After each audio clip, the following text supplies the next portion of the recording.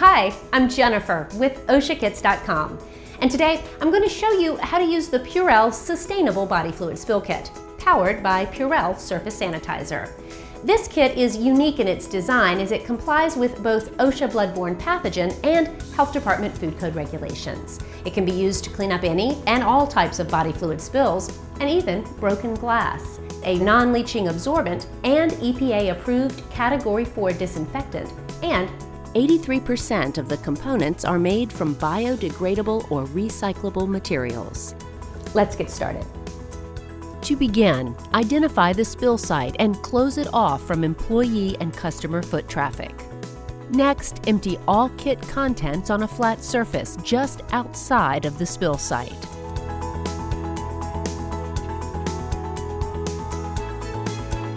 Locate the pack containing the personal protective equipment, or PPE, and place shoe covers over your shoes. Then put on the protective gown using the head and thumb loops. Next, affix the face mask using the ear loops and then the hair cover. Finally, put on the non latex gloves and pull them up and over the gown sleeves. Place the empty spill kit box next to the spill site. Remove the white backing from the adhesive strip along the front edge of the spill kit box. Attach the adhesive strip to the dry floor near the edge of the spill site. This will now serve as our waste bin. Place one of the black plastic bags near the spill site. Remove the cap and seal from the Purell surface sanitizer and attach the trigger spray. Now it's time to clean.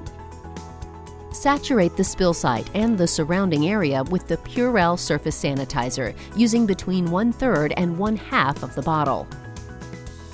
Wait 30 seconds. Now, sprinkle the absorbent powder over the spill site, starting along the outer edge towards the center of the spill.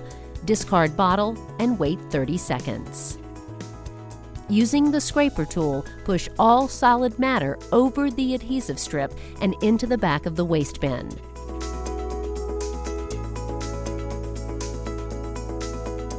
Once most solid matter is in the box, discard the scraper.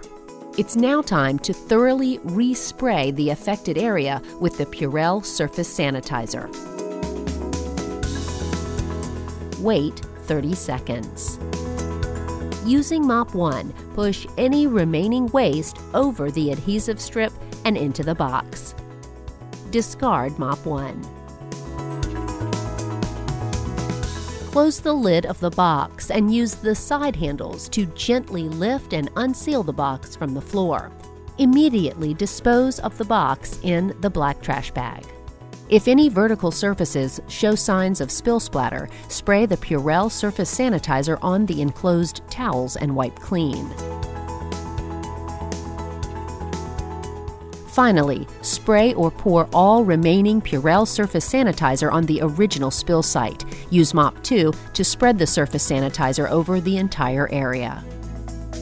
Discard Mop 2 and the bottle and let site air dry